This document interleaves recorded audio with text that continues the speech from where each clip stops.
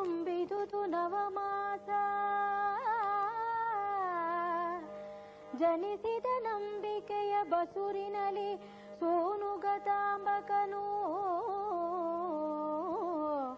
ಮಗನಾದ ನಂಬಾಲಿಕೆಗೆ ಪಾಂಡುಮಯ. ತುಂಬಿದುದು ನವಮಾಸ. ಜನಿಸಿದ ನಂಬಿಕೆಯ ಬಸುರಿನಲ್ಲಿ ಸೋನುಗತಾಂಬಕನು ಮಗನಾದ ನಂಬಾಲಿಕೆಗೆ ಪಾಂಡುಮಯ ಚುಂಬಿಸಿತು ಪರಿತೋಷ ನವಪುಳಕಾಂಬುಗಳು. ಜನಜನಿತ ಅದೇನೇನೆಂಬೆ ಉತ್ಸವವನು ಕುಮಾರೋದ್ಭವದ ವಿಭವದಲ್ಲಿ.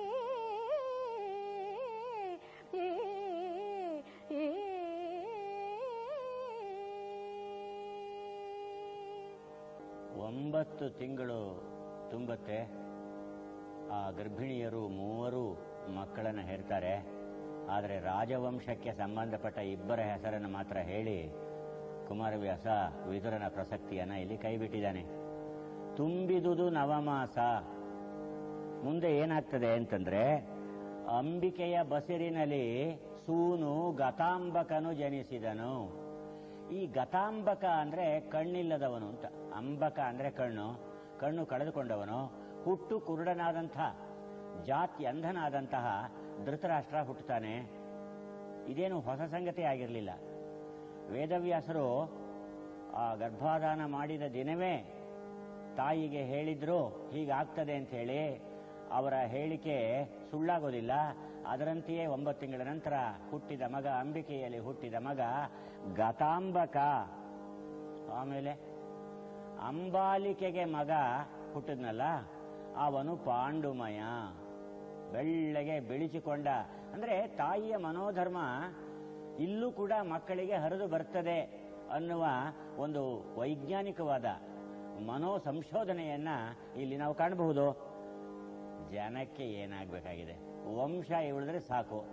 ಮಕ್ಕಳು ಹೇಗಾದರೂ ಇರಲಿ. ನಮಗೆ ಯಾವಾಗಲೂ ಹೆತ್ತವರಿಗೆ ಹೆಗ್ಗಣ ಮುದ್ದು ಅಂತ ಒಂದು ಗಾದೆ ಇದೆ. ಒಂದು ಸ್ವಲ್ಪ ಬದಲಾಯಿಸ್ಬಿಟ್ರೆ, ಹೆತ್ತ worry W O R R Y ಹೆತ್ತ ವರಿಗೆ ಹೆಗ್ಗಣ ಮುದ್ದಾಗುತ್ತೆ. ತಂದೆ ತಾಯಿಗಳಿಗೆ ಬಹಳ ಪ್ರಿಯವಾಗುತ್ತೆ. ಚುಂಬಿಸಿತು ಪ- ಬಹಳ ಪರಿತೋಷ. ಸಂತೋಷ ಚುಂಬಿಸ್ಬಿಡ್ತಂತೆ ಅವ್ರನ್ನ. ಮುತ್ತಿಕ್ಕಿ ಬಿಡ್ತು ಅವರಿಗೆ. ಊರಿನ ಜನಗಳಿಗೆ, ಮತ್ತೆ ಅರಮನೆಯವರಿಗೆ ನವ ಪುಳಕಾಂಬುಗಳು ಜನಜನಿತ. ಏನು ರೋಮಾಂಚಿತರಾಗ್ಬಿಟ್ಟಿದ್ದಾರೆ. ಅನೇಕ ವರ್ಷಗಳಿಂದ ಅರಮನೆಯಲ್ಲಿ ಸಂತಾನ ಭಾಗ್ಯ ಇಲ್ಲದೆ ಇದ್ದಾಗ ಅದು ಕೇವಲ ರಾಜನ ದುಃಖ ಆಗೋದಿಲ್ಲ, ಅಂತಃಪುರದವರ ಯಾತನೆ ಆಗೋದಿಲ್ಲ, ಮತ್ತು ಅವರ ಪರಿವಾರದವರ ಯಾತನೆ ಆಗೋದಿಲ್ಲ. ಸಮಸ್ತ ರಾಜ್ಯ ಈ ದುಃಖದಲ್ಲಿ ಭಾಗಿಯಾಗುತ್ತೆ. ಯಾಕೆಂದ್ರೆ ಅವರು ರಾಜನನ್ನೇ ನಂಬಿಕೊಂಡು ಚೆನ್ನಾಗಿ ತಮ್ಮನ್ನ ಆಳ್ತಾನೆ, ಚೆನ್ನಾಗಿ ನಡೆಸ್ಕೊಳ್ತಾನೆ, ನಮಗೆ ಕಷ್ಟವಿಲ್ಲದಂತೆ ಮಾಡ್ತಾನೆ. ಪ್ರಭು, ರಾಜ, ಪ್ರತ್ಯಕ್ಷ ದೇವತಾ ಅಂತ ನಂಬಿದ ಒಂದು ಕಾಲ ಅದು. ಅದರಿಂದ ಅರಮನೆಯ ಸುಖ ಇವರ ಪಾಲಿಗೂ ಸುಖ ಆಗತ್ತೆ. ಈಗ ಬಹಳ ವರ್ಷಗಳ ನಂತರ ಮನೆಯಲ್ಲಿ ಮಕ್ಕಳ ಅಳುವಿನ ಧ್ವನಿ ಕೇಳ್ತಾ ಇದೆ ಅಂತಂದ್ರೆ ಯಾರಿಗೆ ಸಂತೋಷ ಆಗೋದಿಲ್ಲ. ಆ ಪ್ರಜೆಗಳಿಗಾಗ್ತದೆ, ಅಧಿಕಾರಿಗಳಿಗಾಗ್ತದೆ, ಅರಮನೆಯವರಿಗಾಗ್ತದೆ, ಎಲ್ಲರಿಗೂ ಏನು ಊರಿನಲ್ಲಿ ಏನೆಂಬೇನು ಉತ್ಸವವನು? ಏನು ವೈಭವದಿಂದ ಆ ಕುಮಾರೋದ್ಭವದ ವಿಭವದಲ್ಲಿ ಆ ಕುಮಾರರ ಉದ್ಭವದ ವಿಭವ. ಆ ವೈಭವ ಇದೆಯಲ್ಲ? ಆ ವೈಭವದಲ್ಲಿ ಊರಿನ ಎಲ್ಲ ಜನಗಳು ಹೇಗೆ ಪಾಲ್ಗೊಳ್ತಾರೆ? ಇದು ನಮ್ಮ ಸಮಾಜದಲ್ಲಿ ಯಾಕೋ ಇಂಥ ಒಂದು ಆನಂದ ಈಚೆಗೆ ಕಡಿಮೆ ಆಗ್ಬಿಟ್ಟಿದೆ. ಒಬ್ಬರ ಅಭ್ಯುದಯ ನಮ್ಮೆಲ್ಲರ ಅಭ್ಯುದಯ ಅಂತ ಬಯಸೋದು.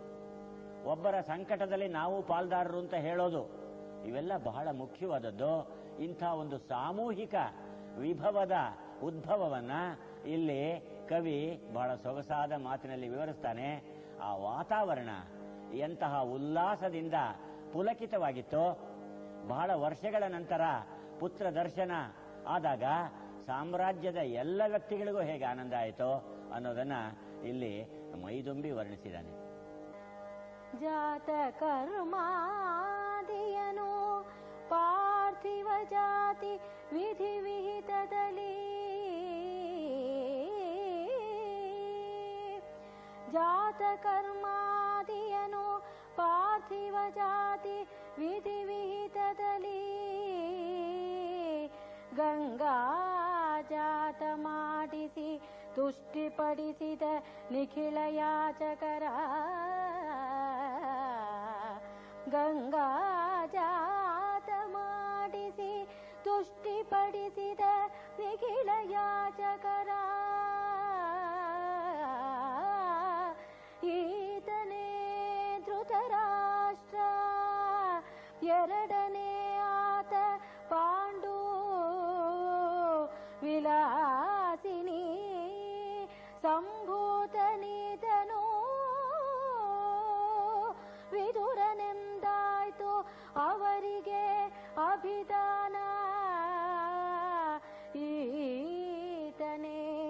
ಧೃತರಾಷ್ಟ್ರ ಎರಡನೆಯಾತ ಪಾಂಡು ವಿಲಾಸಿನಿ ಸಂಭೂತನೀತನು ವಿದುರನೆಲ್ದಾಯ್ತು ಅವರಿಗೆ ಅಭಿದಾನ.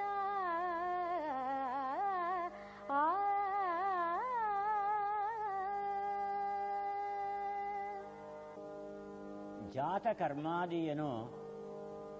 ಅಂದ್ರೆ ನಮ್ಮ ರಾಜವರ್ಗದಲ್ಲಿ ಮತ್ತು ಪುರೋಹಿತ ವರ್ಗದಲ್ಲಿ ಈ ಜನ್ಮ ಕರ್ಮಗಳಿವೆಯಲ್ಲ, ಅವುಗಳನ್ನು ಬಹಳ ವೈಭವದಿಂದ ಮಾಡ್ತಾರೆ. ಹುಟ್ಟಿದ ಹಬ್ಬ, ಎಷ್ಟು ಸಂತೋಷ ಸಂಗತಿ. ಅದನ್ನು ಜಾತ ಕರ್ಮಾದಿಯನು, ಅದು ವಿಧಿವಿಹಿತವಾದಂತಹ ಪಾರ್ಥಿವ ಜಾತಿ, ಕ್ಷತ್ರಿಯರ ಜಾತಿಗೆ ವಿಹಿತವಾದಂತಹ ವೇದೋಕ್ತ ಮಾರ್ಗದಲ್ಲಿ ಭೀಷ್ಮ ಮಾಡಿಸ್ತಾನೆ. ಗಂಗಾ ಜಾತ, ಭೀಷ್ಮ. ಮಾಡಿಸಿ, ಏನ್ ಮಾಡ್ದ? ತುಷ್ಟಿ ಬಡಿಸಿದನ್ ಅಖಿಳ ಯಾಚಕರ. ಅಂದ್ರೆ ಆ ಕಾಲಕ್ಕೆ ಅರಮನೆಯಲ್ಲಿ ಒಂದು ದೊಡ್ಡ ಉತ್ಸವ ನಡೆಯುತ್ತೆ ಅಂತಂದ್ರೆ ಅನೇಕ ಜನ ತಮ್ಮ ಮನೆ ಒಲೆ ಕಿತ್ತು ಹಾಕ್ಬಿಟ್ಟು ಬಂದ್ಬಿಡ್ತಾ ಇದ್ರು. ಒಂದು ವಾರ, ಎರಡು ವಾರದವರೆಗೆ ಬಂದು ಇಲ್ಲಿ ಇದ್ಬಿಡ್ತಾ ಇದ್ರಲ್ಲ, ಆ ನಿಖಿಳ ಯಾಚಕ ವರ್ಗವನ್ನ ತುಷ್ಟಿಪಡಿಸಿದ ಅಂದ್ರೆ ಬಂದಿದ್ದವರಿಗೆ ತೃಪ್ತಿಯಾಗುವಂತೆ ಸಮಾರಾಧನೆಯ ಕಾರ್ಯವನ್ನು ಅವನು ಮಾಡ್ತಾನೆ. ಆಮೇಲೆ ಜನಗಳು ಬಂದವರೆಲ್ಲ ಮಗು ನೋಡ್ಕೊಂಡು ಹೋಗ್ತಾರೆ. ಚಿಕ್ಕ ಮಕ್ಕಳು ಪಾಪ ತೊಟ್ಲಿನಲ್ಲಿ ಇರ್ತವೆ. ಆದರೆ ಏನೋ ಸಂತೋಷ. ನಮ್ಮ ಅರಮನೆಯ ಮಗು ನಮಗೆ ಸಂಬಂಧಪಟ್ಟಿದ್ದು, ನಮ್ಮ ರಾಜವಂಶದ್ದು ಹೇಳಿ, ಅಂದ್ರೆ ಪಾಪ ಕುರುಡನಾದವನನ್ನು ಕೂಡ ನೋಡಿ ನೋಡಿ ಸಂತೋಷ ಪಟ್ಕೊಂಡು ಹೋಗ್ತಾರೆ. ಈತನೇ ಧೃತರಾಷ್ಟ್ರ. ನಾವು ಪ್ರಜೆಗಳ ಮಾತಿಗೆ ಬೆಲೆಯನ್ನು ಕೊಡಬೇಕು. ಅರಮನೆಗೆ ಬಂದವರೆಲ್ಲ ಈ ಕಥೆಯನ್ನು ಮೊದಲೇ ಕೇಳಿದ್ರು. ಹೀಗಾಗತ್ತೆ ಅಂತ ಗೊತ್ತಿತ್ತು. ಆದ್ರೆ ಏನಂತೆ? ರಾಜ ತೇಜಸ್ಸು ಅಂದ ಮೇಲೆ ಅವರಿಗೆ ಬಹಳ ಗೌರವ. ಈ ಡಿವೈನ್ ರೈಟ್ ಥಿಯರಿ ಅಂತ ಕರೀತಾರೆ. ಅಂದ್ರೆ ರಾಜರುಗಳು ನಿಜವಾಗಿ ದಿವ್ಯ ವ್ಯಕ್ತಿಗಳೇ ಅನ್ನೋ ಭಾವ ಇದೆ. ಅವರು ಹೇಗಾದರೂ ಇರಲಿ. ಅಶೋಕ ಚಕ್ರವರ್ತಿನೇ ಬಹಳ ಕುರೂಪಿಯಾಗಿದ್ದ ಅಂತ ಹೇಳಿ ಇತಿಹಾಸ ಹೇಳ್ತದೆ. ಬಹಳ ಭಯಂಕರನಾಗಿದ್ದ ಅಂತ ಹೇಳಿ ಆದರೆ ಈ ಸಂತೋಷ ಜನಗಳಿಗೆ ರಾಜನ ಮಗ ಅಂತ ಹೇಳಿ ಈತ ಧೃತರಾಷ್ಟ್ರ. ಈ ಎರಡನೆಯಾತ ಪಾಂಡು. ವಿಲಾಸಿನಿಯ ಮಗ, ಅವನಿಗೆ ವಿದುರ ಅಂತ ಹೆಸರಿಟ್ರು. ಅದನ್ನೆಲ್ಲ ಮೆಚ್ಚಿಕೊಂಡು ಜನ ಓಡಾಡ್ತಾ ಇದ್ರು. ಅವರ ಸಂಭ್ರಮ ಹೇಳತೀರದು